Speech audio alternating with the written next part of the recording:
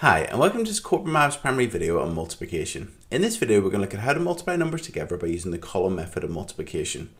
So let's have a look at some typical questions. So our first question is 42 multiplied by 3. So we write 42, the bigger number on the top, then times by 3 and a line beneath that.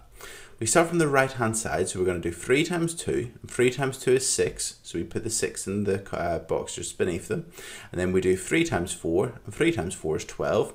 Because 12 won't fit in one column, we're going to write it in twos like this, 12, and that's it. So our answer is 126. Okay, our next question. Our next question is 26 multiplied by 6. So again, we write the bigger number on the top, 26 multiplied by 6, and put the line beneath it. Now we're going to do 6 times 6. Now 6 times 6 is 36. So we'll put our 6 down. Now because we're not finished, we're going to have to carry over the 3. Now there's three different places which I've seen teachers and students write the 3. Some people write up here, some people write it down here. I like to put my 3 here whenever I'm carrying over. Um, it's just a little sort of number there on the line, just so I remember whenever I do my 6 times 2 that I have to add on this number. Okay, so it doesn't really matter where you carry over as long as you remember. So We've so far, just to recap, we've done 6 times 6, which is 36. We've put the 6 down and we've carried the 3. We're now going to do 6 times 2. Now 6 times 2 is 12, but we need to add 3 on. So 12 plus 3 is 15. So we write our 15 down. So our answer is 156. Okay, let's have another look at another question now. So next question is 7 times 92. Again, let's write the bigger number on the top. So 92 multiplied by 7 and the line beneath it like so. So 7 times 2 is 14. So we put the 4 down and we need to carry the 1. 7 times 9 is 63 plus 1 is 64. So we write down 64 and our answer would be 644. And that's it. And just remember when carrying over, you can carry over in other positions, but this is just where I prefer to do it. Okay, next. Our next question is 284 multiplied by 7. So we're going to write down 284 times by 7. And again, put the line beneath it. 7 times 4 is 28, so we put the 8 down and we carry the 2. 7 times 8 is 56, plus 2 is 58, so we put the 8 down and carry the 5. And finally, 7 times 2 is 14, plus the 5 is 19, so our answer is 1988. Okay, let's have a look at our next question. Our next question is a two digit by two digit multiplication. So what we're going to do is, again, we're going to write the bigger number at the top, 18 times by 17, like so. And what we're going to do is, we're going to start from right to left again. So we're going to do 7 times 8, and then 7 times 1. So we're going to multiply 18 by 7 first of all. And then after that, we'll do 18 times by the 10. Okay, so we'll start off with the 7. Okay, so 7 times 8 is 56. So you put the 6 down and we carry the 5. 7 times 1 is 7, plus the 5 is 12. So we're going to write down 12. So 7 times 18 is 126.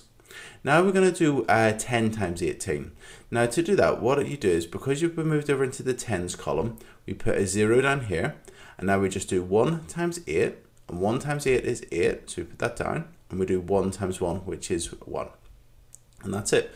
So we've got these two numbers, now we just need to add them together. So we do 6 plus 0 is 6. 2 plus 8 is 10, so put the 0 down, carry the 1. And 1 plus 1 plus 1 is 3. So our answer is 306. So whenever we're doing a two digit by two digit multiplication, you start off by multiplying the number on the top by the number in the units column. So we multiply the 18 by the 7, and we just do that just like we've done the others one so far. Then we move over into the tens column. So we put a 0 down, and we just multiply the number on the top by the 1, okay, or whatever number's in the tens column, and we just write that down, and then we add up at the end. Let's have a look at another one. So next question is 43 multiplied by 36. Again, write the biggest number on top, so 34, or sorry, 43 multiplied by 36, and put the line beneath it.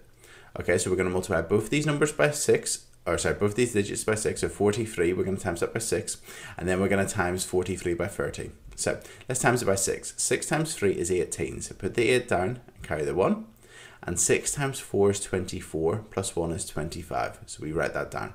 So if we times 43 by 6, we get 258. Now we're going to times it by 30, so put the 0 down first of all, and now we're just going to multiply both the 4 and the 3 by 3.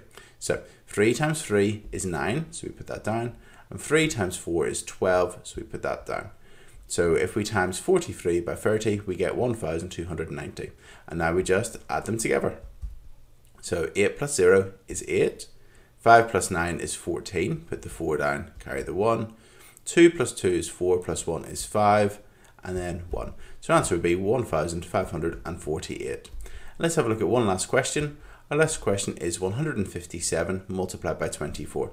So again, let's write the biggest number on the top, so 157 times by 24 and again put the line beneath it. So we're going to times the 157 by 4 and then the 157 by 20 and add them up.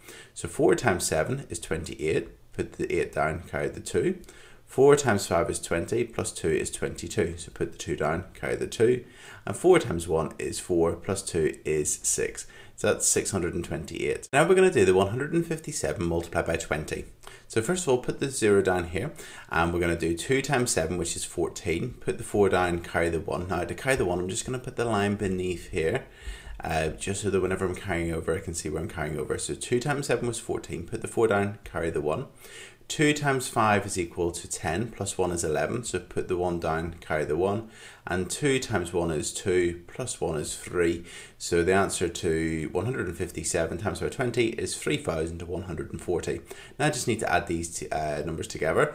So um, 8 plus 0 is 8, 2 plus 4 is 6, 6 plus 1 is 7, and that's just 3. So the answer is 3,768. And that's it.